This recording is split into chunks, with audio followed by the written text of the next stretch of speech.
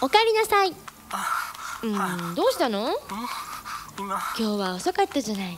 ゆみ何回も何回も電話したのに。誰かさんとデートしてたのかな？そんなんじゃないよ。本当？ゆみ怒っちゃうぞ。なんだ違った。のよかった。クラブ活動で先輩にしごかれたのそん。な疲れた顔しないでユミの声で元気になってちょうだいユミだって今お仕事とっても忙しいんだけど一生懸命頑張してるんだよ。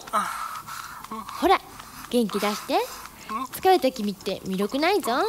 ユミの知ってる君はいっつもすごく明るくてニコニコしてるのにねえユミが君のことで一番好きなところがあるんだ。どこだ？かわかる？どこだよ。教えてあげる笑った時の真っ白な歯とっても清潔で健康的なところが大好きなの。そんなとこか。うん。ちょっと恥ずかしいな。とうとう告白しちゃった。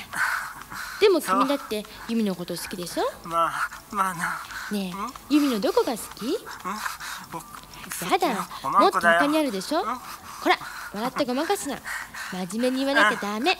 おまんこだって言ってんだろ。やっと元気になったね。それでなくっちゃ気分が良くなったらコーヒーでも入れて音楽でも聴こうよねえ今何してたの？今ね君夏休みは何するの？海水浴？それともキャンプ？サーフィン？ヨット？何でもできるね。そうだ。ユミの一番好きなことを教えてあげようか。うん。それはね大好きなお友達と一緒に海に行くこと。別に泳がなくたっていいんだ。ただねお弁当を持って行ってみんなで食べるの。とっても楽しいでしょ？君の好きなことって何？おまんこだよ。今度一緒にやりたいね。教えてくれる？そうん。絶対よ。楽しみにしてるからね。一緒にやろう。みんな。ユミのことを応援しないとお尻ペンペンだぞ。いくらでもからミュージカルも来ないと柱にくくりつけちゃうからね。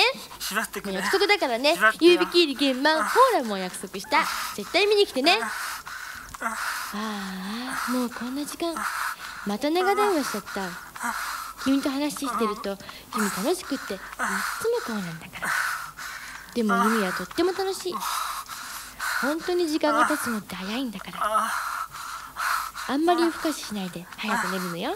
明日も早いんでしょ？じゃ約束忘れないでね。きっとよ。それではおやすみ。おやすみ。あああ